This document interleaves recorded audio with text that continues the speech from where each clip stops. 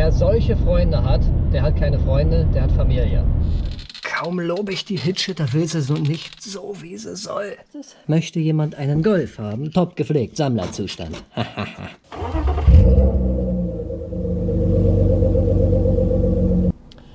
Hallo ihr schönen Menschen.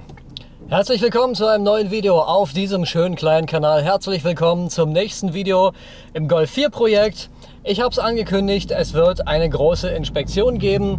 Ich bin jetzt gerade dabei, das Auto ein bisschen warm zu fahren, denn wir wissen, warmes Öl, das läuft einfach besser ab aus dem Motor. Ne? Deswegen gibt es jetzt einmal das Öl neu, Luftfilter neu, Zündkerzen hoffentlich neu, denn ich habe mich schlau gemacht und habe dazu ein Tutorial gefunden, wo äh, bei Autodoc auf YouTube, Achtung Schleichwerbung, gesagt wird, ihr müsst zum Wechsel der Zündkerzen die Ansaugbrücke ausbauen. Dachte mir, Alter, wer hat denn dieses unfassbar reparaturunfreundliche Auto sich ausgedacht? Ähm, jetzt habe ich gerade mit einem befreundeten Mechaniker telefoniert, der mir sagt, äh, Zündkerzen müssen doch nicht, äh, Quatsch, die Ansaugbrücke sollte doch nicht ausgebaut werden. Es geht auch ohne, wenn man äh, zu seinem Zündkerzenschlüssel eine Verlängerung und ein Gelenk hat. Ich muss jetzt erstmal gucken, ob ich das in meinem Werkzeugkasten habe. Wenn ich das habe, dann werdet ihr gleich sehen, wie ich an diesem Kraftfahrzeug die Zündkerzen wechsle. Wenn ich das nicht habe, dann muss ich mal schauen, ob ich das überhaupt mache oder ob ich mir eventuell doch das Gefummel mit der Ansaugbrücke antue. Bevor es damit losgeht, möchte ich nochmal ein unfassbar großes Dankeschön sa äh, sagen. Ihr habt, wenn ihr das erste Vierer Golf Video gesehen habt, ähm, dann wisst ihr, dass Kevin mit mir zusammen das Auto abgeholt hat und ich muss einfach wirklich nochmal ein paar ganz liebevolle Worte ähm, für diesen Jungen sagen, denn ich habe anders. Kevin kennt alle Witze über seinen Namen. Aber alle Kevin-Witze, alle Kevin-Klischees, alle Vorurteile sind scheißegal, wenn der Typ für euch so ein Freund ist, dass er sich Stunden ans Bein bindet, um mit euch durch die ganze Republik zu fahren, um so einen labbrigen Vierer Golf im mittelmäßigen Zustand zu holen. Da hätten andere gesagt, Alter, hol deinen Scheißkarre alleine. Deswegen hab vielen, vielen Dank, Bro, ich kann das gar nicht hoch genug schätzen. Wer solche Freunde hat, der hat keine Freunde, der hat Familie. Okay, ich bin soweit. Auto ist ein bisschen warm gefahren. Was kommt hier rein? ich habe mir bestellt Manol 10 W40 das Öl für diesen Motor. Es ist der 1.6er SR mit 101 PS. Motorkennbuchstaben gibt es, glaube ich, AEH, AKL und noch irgendwas. Wichtig ist, dass das Öl der VW-Spezifikation 50101 oder 50200 entspricht. Das entspricht das Öl, was ich mir bestellt habe. Ansonsten eine 10W40 Viskosität ist eine gute, äh, eine gute Viskosität für ein Öl, was man im Alltag fahren kann auf so einem ganz normalen Motor diesem hier. Und ich werde jetzt gleich meinen mega stylischen Kopfgurt rausholen und dann könnt ihr aus meiner Perspektive gleich äh, verfolgen, wie ich mich hier zum Level mache oder auch nicht. Schaut mal Freunde, ich habe dem Eulen Golf was Gutes getan. Das bedeutet offiziell herzlich willkommen in der PS Blick Projektgarage. Ja, gleich geht's los, hau auf. Freunde, ich habe leider keinen guten Platz gefunden für meine Kamera. Mal schauen, ob ich nachher ein Stativ basteln kann. Auf jeden Fall, bevor ihr Ölwechsel macht, habt ihr hier so einen Unterbodenschutz. Der ist mit ein paar Torx-Schrauben befestigt. Hier, hier, hier unter anderem. Und den müsst ihr dann als erstes abschrauben.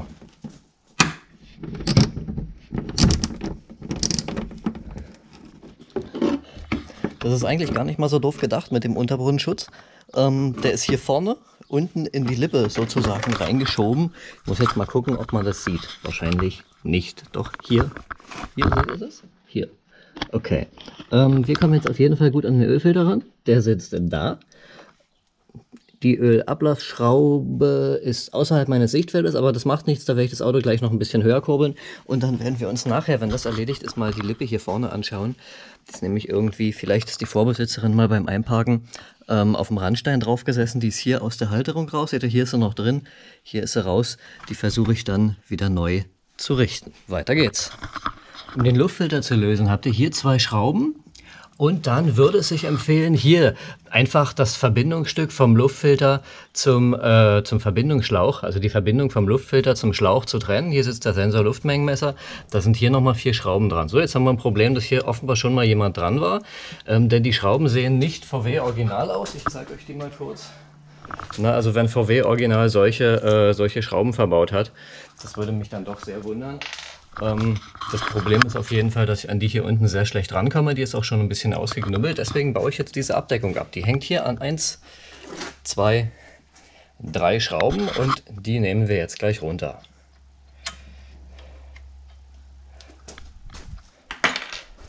So, und mal sehen, dann sollte ich hier deutlich besser rankommen.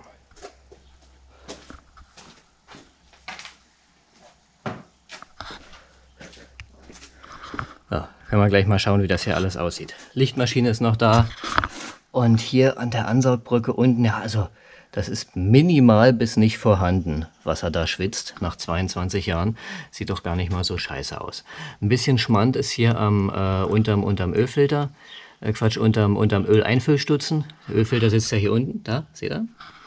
Da wird wohl jemand beim Öl einfüllen oder nachfüllen was daneben gekippt haben. Aber auf jeden Fall komme ich jetzt besser an die hier ran.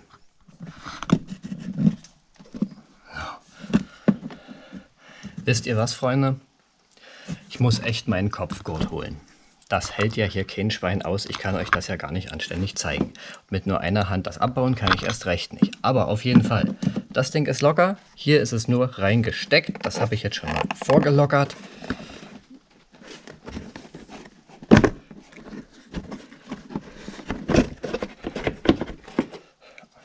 Und dann ist hier ein Dichtring drin. Ne?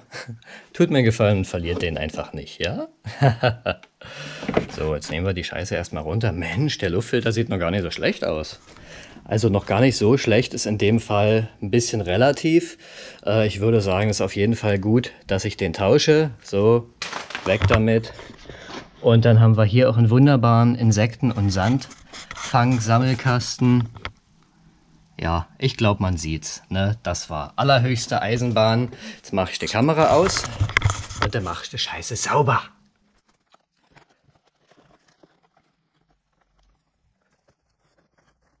Na komm. Also ich habe das schon ein paar Mal erlebt jetzt, dass die Passgenauigkeit der Mannfilter wirklich extrem straff ist. Und entsprechend müsst ihr natürlich den Luftfilterdeckel hier auch wieder ziemlich straff drauf donnern. Aber besser so als zu locker. Na, achtet darauf, dass ihr die Nupsis wieder reinschiebt.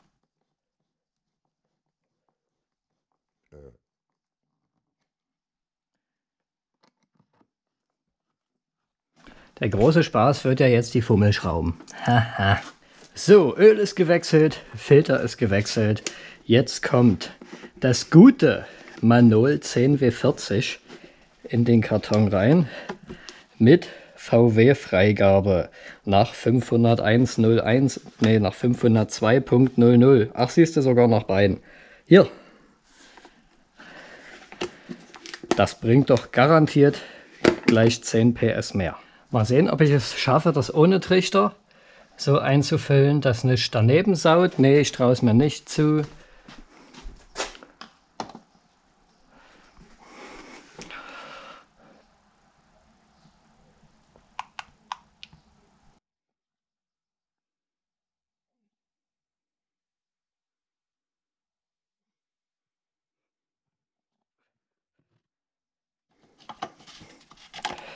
Öl ist drin, Freunde. Das ist doch schon mal was. Ja, kann man auch die restliche Scheiße wieder zusammenbauen. Nein, Spaß. der, hat ja, der hat ja weniger Ärger gemacht als gedacht. Der Golf wollen hoffen, dass das so bleibt. Dass er sich jetzt brav wieder zusammenbauen lässt.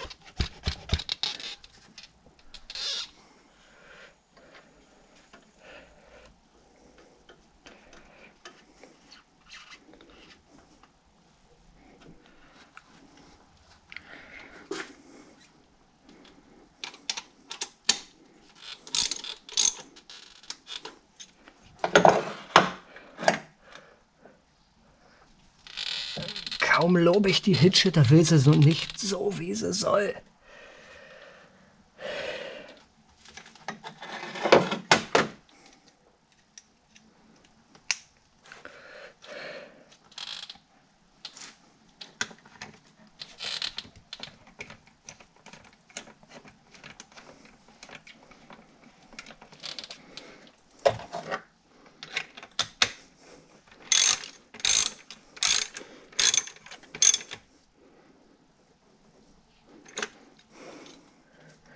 Schaut mal, Freunde. Die Lippe ist auch wieder drin. Ich würde sagen, nur noch der Unterbodenschutz, der jetzt hier wieder reingeschoben wird. Ne? Wie rum muss das Ding? Und dann bin ich fertig mit dem Karton. Na, passt es? Möchte jemand einen Golf haben? Top gepflegt, Sammlerzustand. oh, die Hitsche. So, genau, noch vier Talks und dann geht's ab auf Probefahrt.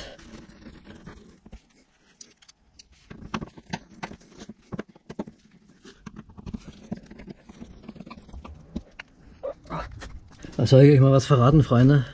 Vom ganzen Liegen hier unter der Karre tut mir schon bärisch der Nacken weh.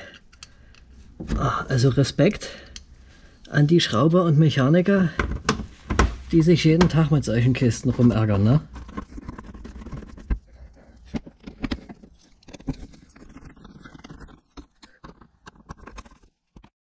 So, Karre läuft, Karre rollt, klar, frisches Öl, frischer Filter. Warum sollte es das auch nicht tun? Sind jetzt wieder 15.000 Kilometer Zeit. So, und ich lasse einfach jetzt schon mal die Katze aus dem Sack. Wahrscheinlich, wenn das 15.000 Kilometer Intervall rum ist, dann wird dieses Auto wahrscheinlich nicht mehr bei mir sein. Der Golf soll kein Langzeitprojekt werden.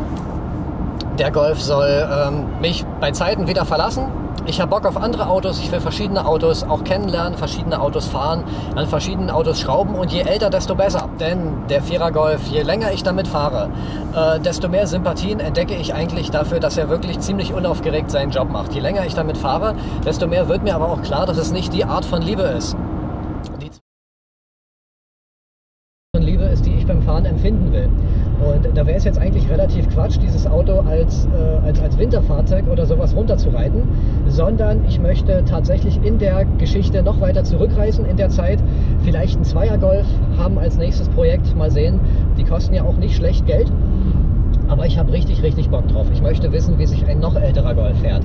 Äh, ob das auch wirklich dieses relativ langweilige, emotionslose Golffahren ist oder vielleicht, ob da mehr Emotionen bei aufkommen. Deshalb, ich kann euch nicht mal garantieren, wenn diese Videos alle erscheinen, es werden noch einige mehr kommen zu dem Auto, keine Sorge, äh, ob der Golf 4 dann noch da ist. Für den Teil möchte ich sagen, äh, es hat mir Spaß gemacht, das so kennenzulernen ich bin tatsächlich ohne Blutzoll an den, an den Schraubergott rausgegangen aus diesem Schraubertag. Es ist unglaublich, ne? Das ist nicht, dass das ein schlechtes Omen ist. ich hoffe, euch hat Spaß gemacht, dieses Video zu schauen. Wenn ihr Fragen habt, schreibt mir gerne. Erzählt mir über eure Erfahrungen, Erlebnisse mit dem 1.6er SR-Motor, diesem fast unzerstörbaren Eisenschwein, wie es ja ganz gerne genannt wird. Und dann sehen wir uns im nächsten Video wieder. Würde mich riesig freuen, wenn ihr den Kanal abonniert, dem Video ein Like da lasst, irgendwie mit mir in Kontakt tretet, mir Bescheid gebt, wie ihr das Ganze findet. Da freut sich der YouTuber, also ich, da freut sich der Algorithmus, der sieht, dass das Video interessant ist. Und ich hoffe, ihr freut euch auch über all das, was ihr hier seht auf diesem kleinen Kanal. Hier geht es um Autos und Emotionen. Ich bin Peter, das ist PS Blick. Bam, ich habe euch lieb. Ciao.